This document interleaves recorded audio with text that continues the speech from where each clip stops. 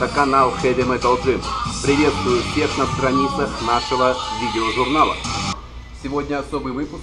Вы меня уже давно просите снять видео о том, как стать выносливее. Много, большинство вопросов приходит. Как тренировать сердце, чтобы стать выносливее? Что лучше? Бегать на дорожке, прыгать на скакалке, либо какие-то другие виды аэробного тренинга. Все это, ребята, совершенно неправильные вопросы. Поверьте мне, о выносливости я знаю все. Я в спорте с детства. Врачи мне всегда запрещали тренироваться, так как у меня патология сердечная. Запрещали заниматься любым спортом. Но я тренировался. Я занимался футболом, учился в спецклассе по футболу.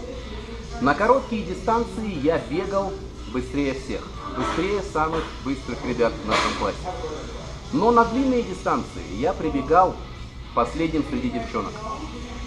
Да, как бы это не смешно, но это факт. Естественно, в те времена еще не было научных исследований, и все по старинке думали, что тренировать сердце – это значит тренировать выносливость. Но это полная чушь. И современные научные исследования в спортивной медицине это уже не раз доказывали. Если вы не знаете о том, что и как нужно тренировать выносливость, посмотрите обязательно этот ролик и попробуйте. Вы увидите, насколько и как быстро увеличится ваша выносливость. В разы. Итак, запомните, тренировать сердце специально обычному человеку, человеку, посещающему тренажерный зал, не нужно. Сердце само подстраивается под наши нужды.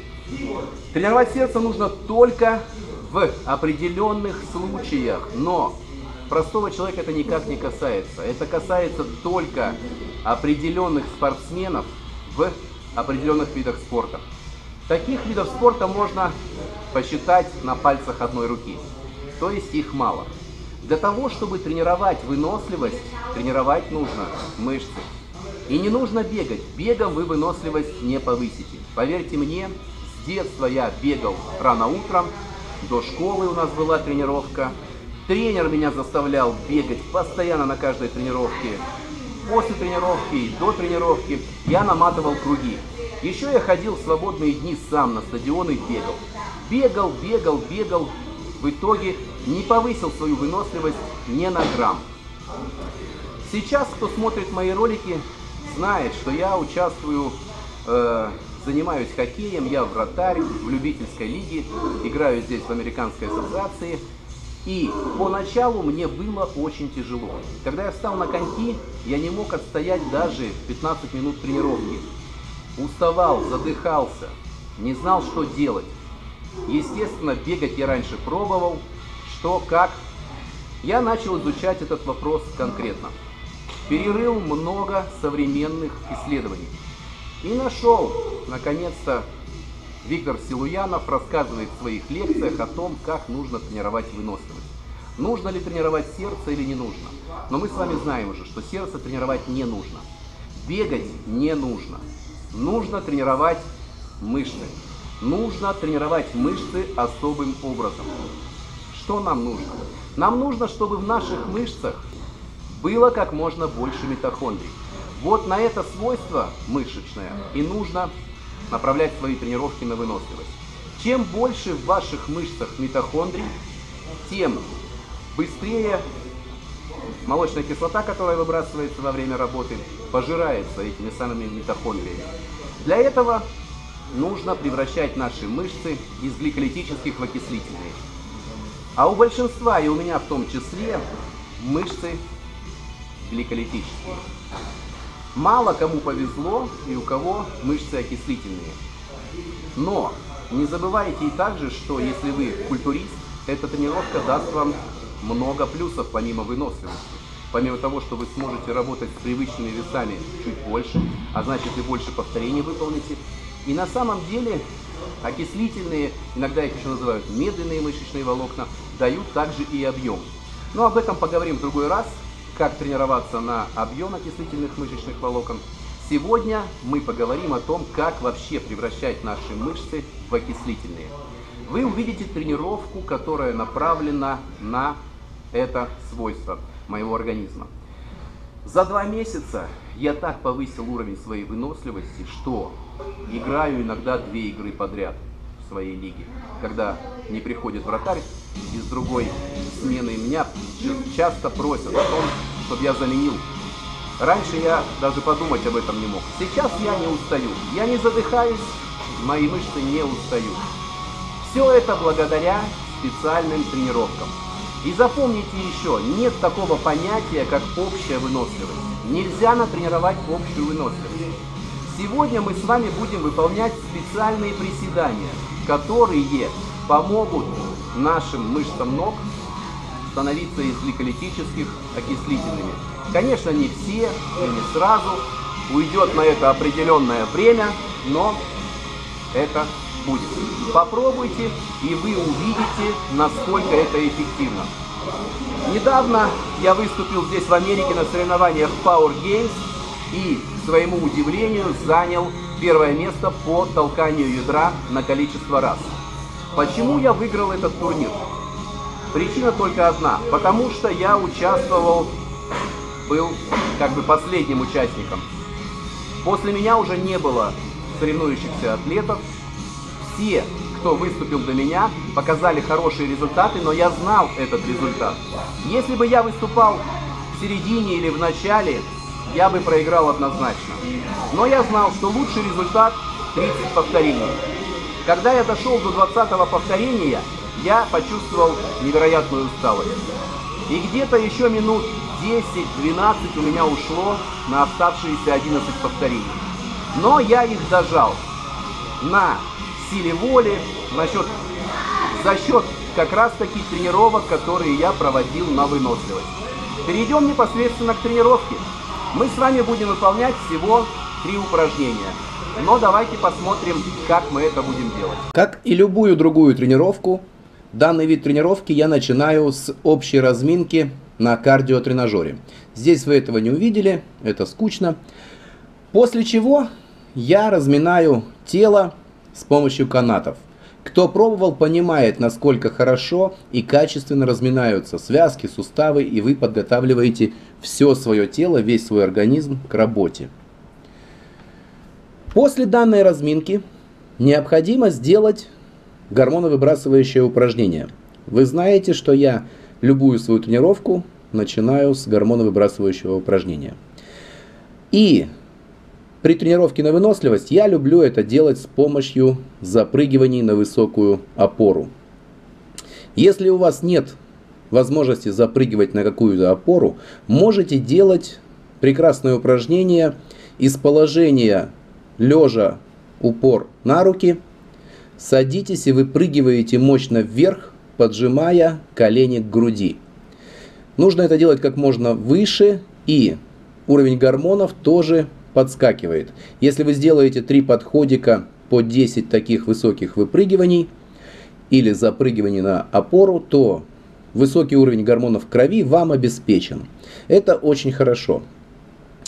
Что касается кроссфита, меня очень часто спрашивают, о подобной тренировке, хочу сказать, что кроссфит в классическом его варианте увеличивает толщину левого желудочка, что в свою очередь приводит к ослаблению функций правого. И свидетельства показывают исследования, что такие изменения являются не хорошими, не качественными для здоровья организма в целом. А размеры сердца не восстанавливаются, когда вы бросаете тренировки. А 95% из вас забросит любую тренировку. Неважно, занимаетесь вы кроссфитом или еще чем-либо. После выпрыгиваний, запрыгиваний я делаю гиперэкстензии. Гиперэкстензии, вы знаете, я делаю тоже на каждой тренировке. Сегодня у меня тяжелые гиперэкстензии – я делаю их с весом, что советую и вам. Вот мы переходим к первому упражнению нашей тренировки на выносливость. Это приседание. Берем вес процентов 50 от рабочего, когда мы работаем на массу, на гликолитические мышечные волокна. И выполняем с ним работу. Вес здесь, как вы видите, на самом деле не важен. Важно, насколько медленно вы выполняете движение. Посмотрите, берем штангу на плечи, принимаем исходное положение полуприсед, вот выше мы не будем подниматься, и медленно-медленно секунд 6 опускаемся, и также 5-6 секунд поднимаемся. Вот эта работа как раз таки усиливает, увеличивает количество митохондрий в наших мышечных волокнах. Это очень и очень важно понимать. Начинаем мы с трех таких подходиков по 30 секунд. Со временем увеличиваем количество подходов до 9, но делаем это очень плавно и постепенно. А количество нахождения под нагрузкой увеличиваем до 1 минуты. То есть получается, мы с вами делаем работу в течение 30-60 секунд, постепенно увеличивая это время, и начинаем с трех рабочих подходов – постепенно увеличивая их до 9. На что стоит обращать особое внимание? Это на время отдыха между подходами. Оно должно быть 30 секунд, ни больше, ни меньше, независимо от того, 30 или 60 секунд вы находитесь под нагрузкой, независимо от того, 3 подхода или 9 вы выполняете, все, что касается времени отдыха между подходами – не должно превышать 30 секунд, но и не должно быть меньше.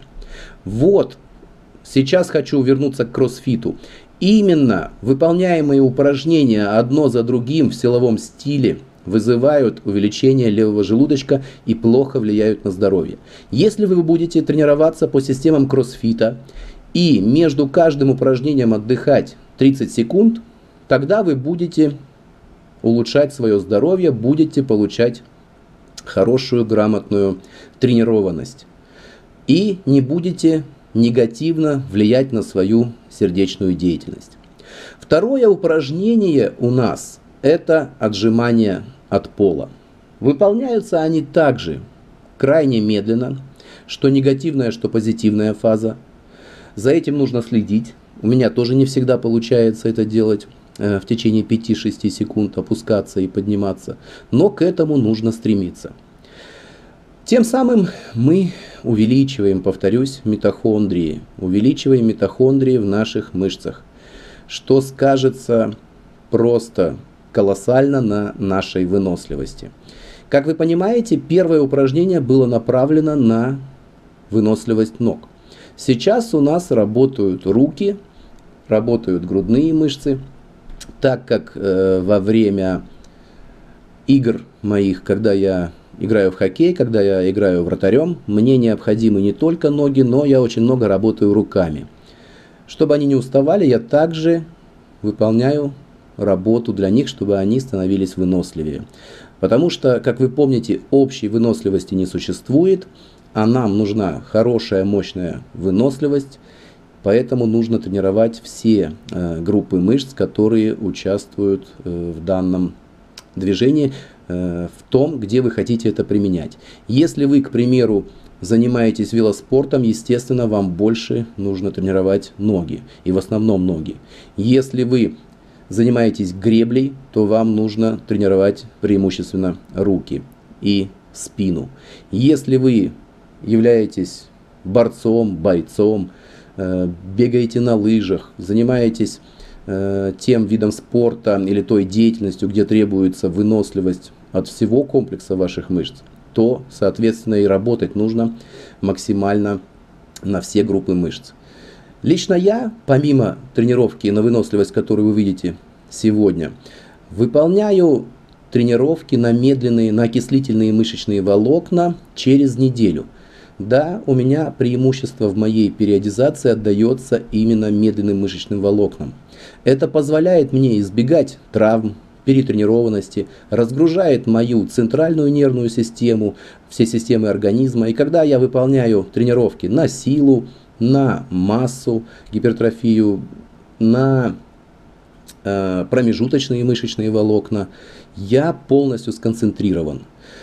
И этот график периодизации самый лучший, если сравнивать его, к примеру, с графиком других людей, которые работают 3 месяца на массу, 2 месяца на силу. Недельная периодизация у меня. И через каждую неделю работа на окислительные мышечные волокна. Это позволяет мне быть и чувствовать себя здоровым, позволяет мне быть большим и выносливым. И что немаловажно, это позволяет мне э, пережигать больше жира, чем те, к примеру, кто занимается аэробикой. А вы помните и знаете из моих статей и видеоуроков, что классическая аэробика не нужна натуральному атлету, она только вредит. Она выбрасывает огромное количество гормона кортизола, который негативно влияет для нас с вами на наши мышцы, пережигает мышцы, больше пережигает мышцы, чем жир.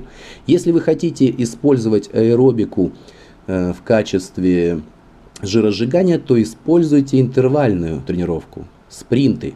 Во-первых, нужно времени в два раза меньше, а во-вторых, вы сбережете свои мышцы. Но и экономия времени тоже никому никогда еще не вредила.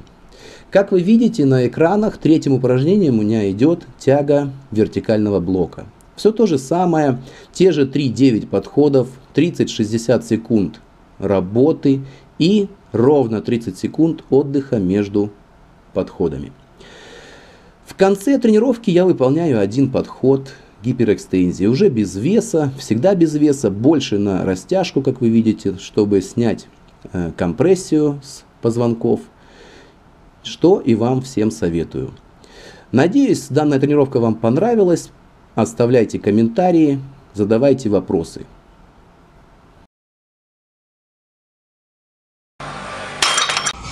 Ну вот, друзья, и закончилась наша с вами тренировка на выносливость. Опробуйте ее. Уже через неделю-две вы почувствуете результат. Через месяц вы будете чувствовать себя прекрасно. Через два месяца вы выйдете на пик своей выносливости. Помимо всего прочего, при определенном питании данная тренировка пережигает огромное количество жиров. И конкретно в той части, на которую мы работаем.